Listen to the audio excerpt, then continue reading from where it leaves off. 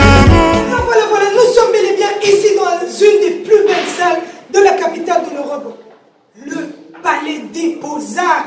Regardez vous-même le cadre qui nous accueille pour un événement du jamais vu. hein.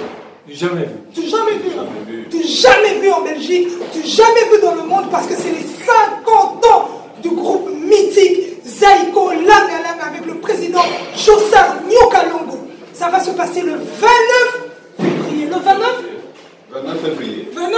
Février. Voilà, 29 février, en ces lieux, le Palais de Beaux-Arts vous accueille pour l'événement l'Afropolitain qui va célébrer les 50 ans du groupe Zeko Langa Langa.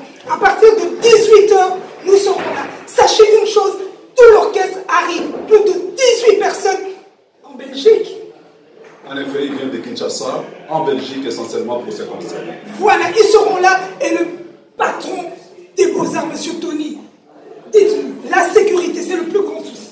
Il n'y a pas de problème. C'est depuis longtemps, on travaille avec notre ambassade à Kinshasa, la police, on voit tous les jours, ils ont assuré que le concert peut se dérouler dans la plus grande paix pour la sécurité pour tout le monde. On est conscient de ce qui se passe et on est prêt. Voilà, nous sommes prêts pour accueillir ce grand groupe, le président José Arnaud Canon, avec sa nouvelle danse. Là, lui, il fait que ça et il redescend encore par là. Venez vivre ces moments. Vraiment, on rentre 50 ans en arrière, les. Monsieur Clé, vous qui êtes toujours derrière ces événements-là.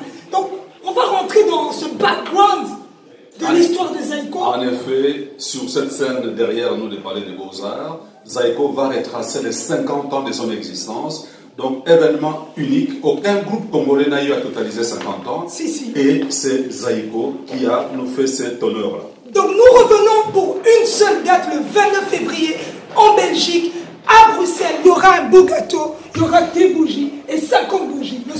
Et un très grand concert, plus que 4 heures. Waouh Sachez une chose, qu'on va dégager toutes ces chaises. On va créer une piste de danse afin que nous puissions nous déhancher comme pas possible le 29 février. Prenez déjà vos tickets parce qu'il y en a presque plus. Ne me dites pas que je ne vous avais pas prévenu.